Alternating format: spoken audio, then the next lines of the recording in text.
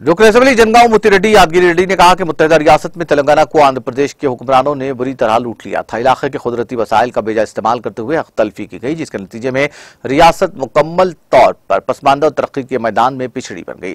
जिसके अजाले के लिए चीफ मिनिस्टर तेलंगाना के चंद्रशेखर राव ने अलहदा रियासत तेलंगाना की तश्कील की जद्दोजहद करते हुए पुरमन तरीके पर नई रियासत तेलंगाना को साठ साल गुलामी से आज़ाद कराया। तेलंगाना रियासत निज़ाम नवाब के दौरान खुशहाल और शहरी माशी तौर पर काफ़ी मुस्तकम थी। नई रियासत के क्याम के बाद के सी आर हुकूमत ने मुतद फलाही इकदाम और प्रोग्रामों का आगाज़ करते हुए अलहदा रियासत तेलंगाना के सम्राट को तमाम तबकात में यकसा तौर पर तकसीम कर रहे हैं। वो जिला मुस्तकिल जनगांव में वाक़ एक फ़ंक्शन हॉल में मुकामी काउंसलर मोहम्मद अब्दुलसमद की जेर सदारत मुनदा सरकारी दावत इफ्तार के मौके पर जलसे आम से खिताब कर रहे थे। इस मौके पर शादी मुबारक, चेक्स और रमज़ान गिफ्ट भी तकसीम किए गए।